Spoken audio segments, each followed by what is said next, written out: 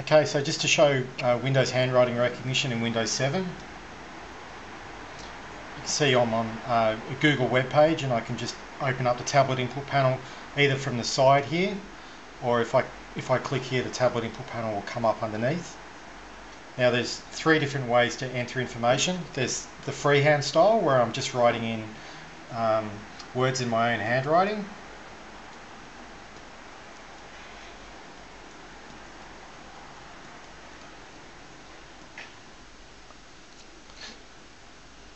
like that and then I hit insert and it puts it in as text. Um, the uh, second method.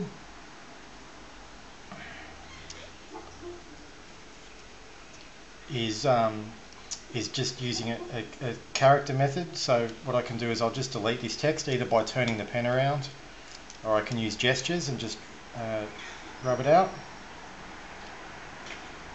And I can write in like this way. This second method, character method, is really good for um, writing in particular um, URLs or web pages.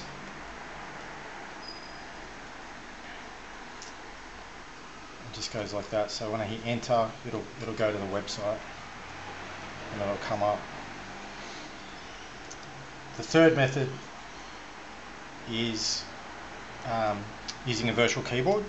So this is where I just tap on tap on the um, the keys and, uh, and and write in the page that I want to go to like that.